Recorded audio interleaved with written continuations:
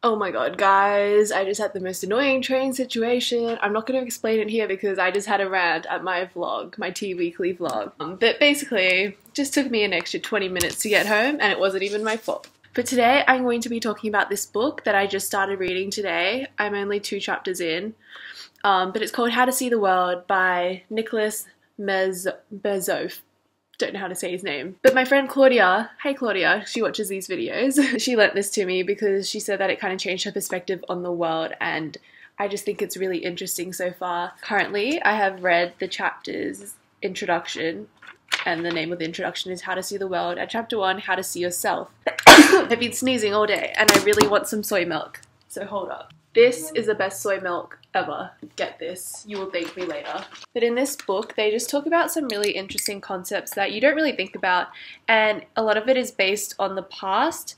So, images and photos and artworks in the past. So they have like like images throughout the book, and it kind of just talks about the images and perspectives and I think it's so interesting. So I'm just going to briefly talk about each of the two chapters that I read today. The book starts off the introduction with talking about this planet, this planet, um, about Earth, and the first photo that NASA took. And this is probably the most famous photo image of the Earth. And only three humans have seen this in person, which is insane. And this was taken in 1972. This is the first image of the Earth 1972. That was not long ago at all. That's insane. Technology has developed so much so quickly. It's very focused on technology and the internet and the rise of media, social media specifically, and how this has like impacted mainly teenagers today and how we communicate and how we present ourselves online. It's very interesting because you don't really read books on social media. It's more just articles online. You'd never really read a book on these type of things. I took a photo of this one sentence that I really liked. If you put something online, you want people to engage with it.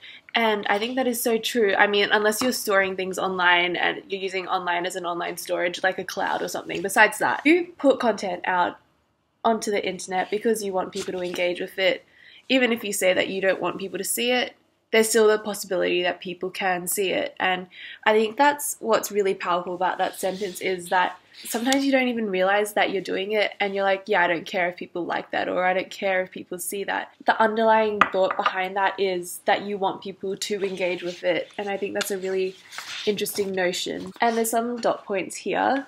So I'll read out a couple of all media are social media. We use them to depict ourselves to others. Our bodies are now extensions of data networks, clicking, linking, and taking selfies. That dot point is so true. We have become technology essentially. We are on our phones, our computers, our iPads. We are on technology constantly.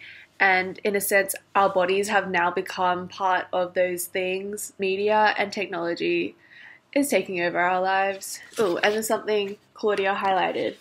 How we see ourselves leads to the question of how we see. Let's move on to the chapter How to See Yourself. This one was quite interesting. I read it just then, but also I was like a bit out of it because of everything that happened just then. But it brought in aspects of like old art and oh, I there was this one painting that I found so interesting. I literally stared at it for so long on the train because it was talking about this and whether it was a mirror or not. Um, you can't really tell on the webcam, but yeah, it's a super interesting image. I'll put the name. I think you say Velázquez La Meninas. Meninas. This part I really liked because it talked about gender in the media. So this is page 53 if you guys want to read it. The man's role in the film, Mulvey says, is the active one of the forwarding the story, making things happen. She adds that the man in the story controls the film fantasy and also emerges as a representative of power in a further sense, as the bearer of the look of the spectator. Men look at the action through the eyes of the male hero, and women are obliged to do the same. A form of compulsory gender manipulation. That's just saying, in general, we assume that perspectives in media are from a male perspective, especially in like TV shows and movies, when we don't actually know who like the protagonist is, or like when we are reading a book you don't know the gender unless they have gender specific pronouns. So your initial reaction is to assume that the protagonist or the person first person is male. Actually, that was like me in To Kill a Mockingbird. I thought Scout was a boy, but she's actually a girl, and I didn't realize that till like heaps into the book because I just assumed that Scout was male. Um, and then a bit further on it says, Then we realize that it is Sherman herself who has created the scene and that she is using it not to present herself as a victim, but to make us aware of the ways in which cinema depicts women as objects to be played with. So this talks about like the objectification of women in the media. By manipulating back, Sherman and many other artists of her generation, such as Barbara Kruger, she is an amazing artist, and Sherrie Levine, claim the right to be the selves they wanted to be. Her photographs reperform the way women are represented to say something important about the actual experience of women in daily life. And then they also brought in stuff about race, and there was this guy here. He did self portraits, and let me read out something.